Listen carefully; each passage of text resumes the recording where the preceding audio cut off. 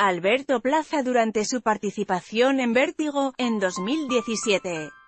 Imagen tomada de pantalla, Canal 13 Alberto Plaza explica sus dichos sobre la represión Autor, C. Z, 9 de octubre, 2018 Alberto Plaza sorprendió este lunes con una carta enviada al diario El Mercurio, titulada, Represión. En la misiva, el cantautor defendió su uso por carabineros ante la escalada de violencia y agresividad que ha ocurrido en distintas protestas, tomas y marchas.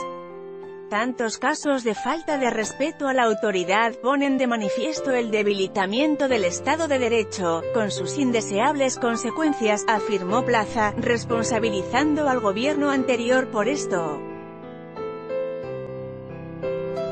Luego, Plaza agregó, el concepto de represión no puede ser analizado con independencia del acto que se está reprimiendo. Si una persona está manifestándose pacíficamente en una marcha, reprimirla sería condenable, pero cuando lo que se está reprimiendo es un acto dañino y destructivo, como intentar prenderle fuego a un ser humano, la represión no solo es aceptable, sino que necesaria. La carta generó una álgida discusión en redes sociales.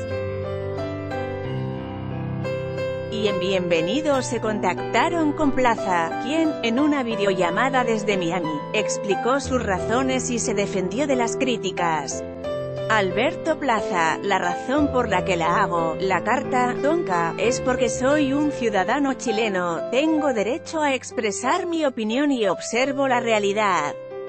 Cuando uno se da cuenta que se ha deteriorado, de alguna forma, la convivencia, y hay hechos que están confluyendo a un deterioro de la convivencia nacional, uno tiene que actuar, hay que hacer algo al respecto. Creo que la omisión también es un pecado, y no decirlo podría ayudar a que se siga produciendo. Esa es la razón por qué la hago. Tengo el derecho a hacerlo simplemente por ser un ciudadano chileno. Lo hago por mi país, por mi gente y creo que contribuyo en algo al debate, Mauricio Jürgensen, lo que me llama la atención, Alberto, y te lo digo porque nos conocemos, yo admiro a los músicos chilenos per se, digamos. Me llama la atención tu interés de abordar este tema desde esta perspectiva. Me cuesta entender un poco la falta de sensibilidad para entender el tema más de fondo. Hoy día, por ejemplo, hubo una marcha y unos chicos se tomaron una calle. Estaban protestando por Aula Segura, que es un proyecto del gobierno que busca facilitar la expulsión de alumnos que estén involucrados en actos violentos. Pero hay muchos forados. Hay un tema de educación de fondo que debe ser mejorado. Y tengo la sensación que un artista, un cantautor con una sensibilidad especial, podría aportar al debate desde esa perspectiva. Plaza, gracias, Mauricio. Yo entiendo tu punto de vista, y comparto tu idea con que, junto con hacer esa observación, puede ir al problema de fondo. Eso es parte del debate y se conversará. Esta carta tiene la intención de, particularmente, focalizarnos desde el hecho que, desde mi punto de vista, la gente tiene derecho a expresarse. Yo soy tan consciente de los derechos humanos que he dado conferencias de los derechos humanos en distintos países. Estoy consciente de eso y apoyo a todo gobierno que esté dirigido a eso. Y toda la gente tiene el derecho a manifestarse. El tema es cuando esa manifestación se sale de cos y se producen hechos que se van de las manos y se empieza a atentar sobre la vida misma de quienes deben ejercer el orden. Está el caso de los estudiantes que querían prenderle fuego a los carabineros. Con bombas molotov estaban intentando matar con fuego.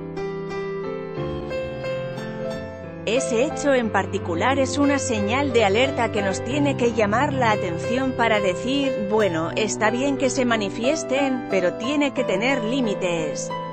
Y ahí está el concepto de represión tendenciosamente utilizado, porque hay que reprimir el acto de querer matar a otra persona.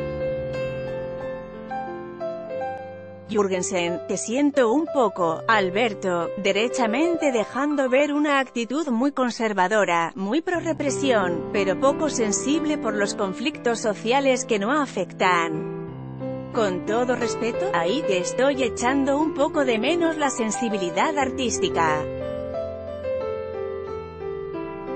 Siento que de repente firmas como cantautor y estás firmando más como, no sé, un político, construyendo un futuro en otro lugar. Plaza, no, Mauricio, no es esa la idea. De hecho, yo he escrito varias cartas al Mercurio donde me he referido al tema de los mapuches, del feminismo, he hecho empatía con las víctimas de los abusos en la dictadura. La carta, anterior a esta, hablaba de empatizar con la gente que fue brutalmente maltratada, incluso con los que murieron con los excesos de la dictadura. En esta carta en particular me refiero al tema de entender que la policía tiene un rol que jugar cuando las manifestaciones se salen de cauce. Y es necesario controlar la salida de cauce y usar la represión en el buen sentido de la palabra. Pero si se quedan en el concepto, represión, como se ha utilizado históricamente, como, la represión de las fuerzas del Estado en contra de los manifestantes, no es eso a lo que me estoy refiriendo.